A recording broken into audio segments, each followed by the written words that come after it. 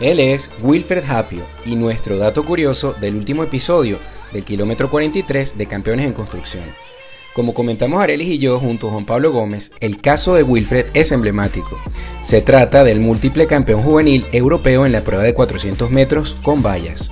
Mientras Wilfred se encontraba calentando en las instalaciones de una escuela a 500 metros del estadio para competir en el Campeonato Nacional de Francia, se vio involucrado en un incidente en el que sujetos desconocidos le propiciaron una paliza moliéndole a golpes pero ello no le impidió para que regresara al estadio, se repusiera de la paliza, improvisara un parche en su ojo izquierdo y compitiera en la prueba de 400 metros con valla.